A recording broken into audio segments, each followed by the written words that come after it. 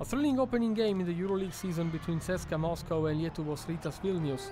Arturas Jomantas pushed the Lithuanian up by two in the fourth quarter, then Renaldas Seibutis and Leon Radosevic built a four points lead for the guest. Sonny Weems gave the lead to CSKA with five points in a row. Seibutis missed the winning shot at the buzzer.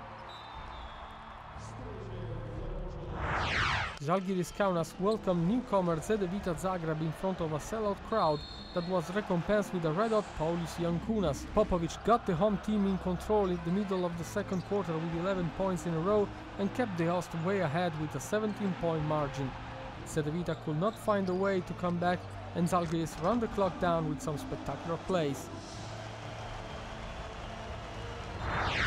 A great third quarter by Brad Oleson and Maciej Lampe allowed Caja Laboral to return into the game leading by one after Olympiacos ended the first half up by 11.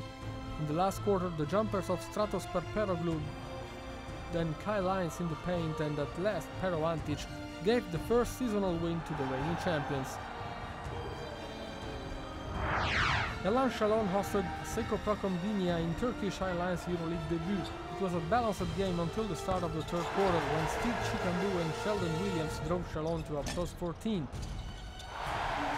The Polish champion tried to come back in the fourth period but fell short, so it was time to celebrate for the guys at Buñol. Fenerbahce Ulker Istanbul scored a 17-6 run with an impressive effort by Emir Preldzic to lead by 10 at the half time 46-36. Zoran Planinic for Khimki started with 5 points in a row in the third, but the home crowd was delighted with the exciting effort of the Turkish squad that built a 16 points lead in the final quarter behind the efforts of Mekale, Bonano and Sato. Nakoro Cantu hosted Union Olimpija Ljubljana. The Slovenians led by 6 in the third quarter with a great contribution by Sasu Salin, but the home team came back thanks to Pietro Aradori, who tied the score in the final period. Ljubljana closed the game with a long-range shot by Dylan Page, Clement Krepelic and Salin again.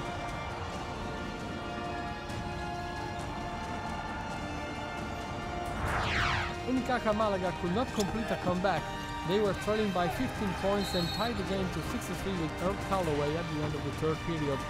The Devoayon netted two crucial two-pointers for the guests and Maccabi took 10 points lead, 75-65.